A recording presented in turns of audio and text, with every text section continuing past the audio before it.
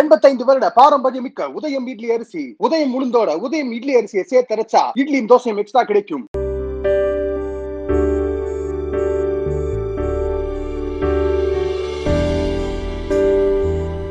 Big Boss four reality ஷோட எண்டுக்கு வந்துட்டோம். இதுல பாத்தீங்கன்னா ஓட்டிங்ஸ்லாம் நடந்து முடிஞ்சிருக்கு. எல்லாருமே கெஸ் பண்ண மாதிரி ஆரிக்கு தான் ஹையஸ்ட் ஓட்டிங் வந்திருக்கு. ஆரி தான் வந்து பிக் பாஸ் டைட்டில் அடிக்க போறாரு. இது வந்து கன்ஃபார்ம்னே சொல்லலாம். ஏன்னா எல்லா ஓட்டிங் போல்ஸ் பாத்தீங்கன்னா ஆரிக்கு வந்து ஒரு மடங்குல ரெண்டு மடங்குல கிட்டத்தட்ட நாலு மடங்கு ஓட்டிங் ஜாஸ்தி வந்திருக்கு. ஃபர்ஸ்ட் பிளேஸ்க்கோ செகண்ட் பிளேஸ்க்கோ இருக்க டிஃபரன்ஸ் மட்டுமே. இப்போ ஓட்டிங்ல ஆரிக்கு எவ்வளவு ஓட் வந்திருக்கு அப்படின்னு சொல்லிட்டு ஏகப்பட்ட ரிப்போர்ட்ஸ் வந்துட்டு இருக்கு. ஒரு பக்கம் என்னன்னா ஆரிக்கு வந்து பன்னெண்டு குரோர் ஓட் வந்திருக்கு. அண்ட் செகண்ட் பிளேஸ்ல இருக்க பாலாக்கு பார்த்தீங்கன்னா ஃபோர் க்ரோஸ் ஓட் வந்திருக்கு. தேர்ட்ல ரியோக்கு வந்து ஒரு கோடி வந்திருக்கு அப்படின்னு ஒரு ரிப்போர்ட் வந்துட்டு இருக்கு இன்னொரு பக்கம் பாத்தீங்கன்னா ஆரிக்கு வந்து இருபத்தி மூணு கோடி ஓட் வந்து வந்திருக்கு அப்படின்னு சொல்லிட்டு இருக்காங்க.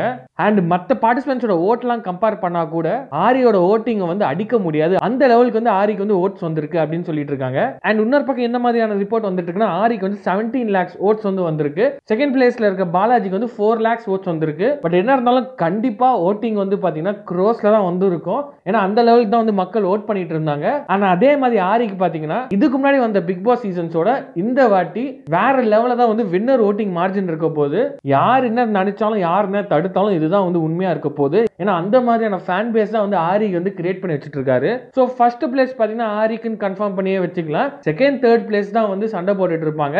இதுல பாலாவா ரியோவா அப்படின்ற ஓட்டிங் தான் வந்து போயிட்டு இருக்கு. ஏன்னா வந்து ரியோவும் செகண்ட் பிளேஸ் வர சான்சஸ் இருக்கு. பாலாவும் செகண்ட் பிளேஸ் வர சான்சஸ் இருக்கு. ஸோ இது மூலியமா வந்து செகண்ட் தேர்ட் பிளேஸ் தான் வந்து போட்டி இருக்க போது ஃபர்ஸ்ட் பிளேஸ் வந்து சிங்கம் மாதிரி நம்ம ஆரி தான் இருக்கிறாரு கண்டிப்பா ஆரி பிக் பாஸ் வீட்டை விட்டு வெளியில வந்தோடனே அவர் பதினஞ்சு வருஷம் சினிமால எவ்வளவு கஷ்டப்பட்டாரோ இந்த ஃபேமுக்காக அதெல்லாம் பாத்தீங்கன்னா நூறு நாள் அச்சீவ் பண்ணிட்டாரு தான் சொல்லணும்.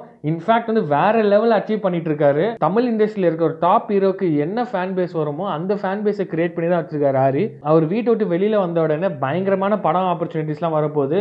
ஏகப்பட்ட படத்தை சைன் பண்ண போறாரு. அந்த ஆப்பர்ச்சுனிட்டியை யூஸ் பண்ணாருன்னா ஒரு தமிழ் சினிமால ஒரு நல்ல பொசிஷனுக்கு அவர் கண்டிப்பா வருவாரு. ஸோ நீங்க இந்த வீடியோ பத்தி என்ன நினைக்கிறீங்க?